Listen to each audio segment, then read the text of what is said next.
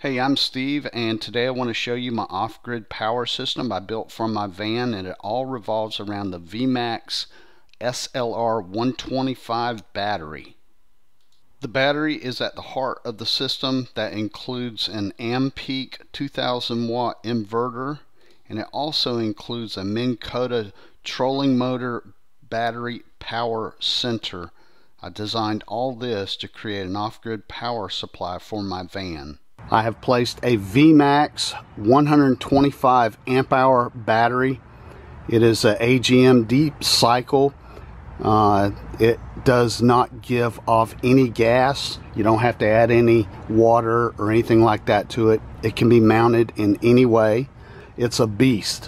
One of the reasons that I went with the Minn Kota Power Center is on each end it has a built-in 12 volt cigarette lighter type adapter which will work perfect with my refrigerator. I also like the fact that it has these external hookups for the inverter, meaning that I don't have to take the battery out or I don't have to open it up to actually charge the battery either through solar or through a wall charger. Here's a shot of the battery. It is a VMAX SLR 125. It's made for solar systems. It's AGM Deep Cycle, 75 pounds. It's a beast.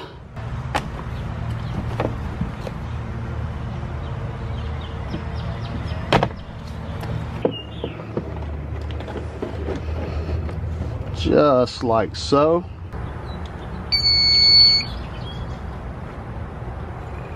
Here I am running a vacuum cleaner using the VMAX battery as the heart of my power system.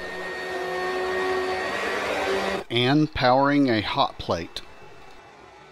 Thanks for watching. I hope you found this video helpful.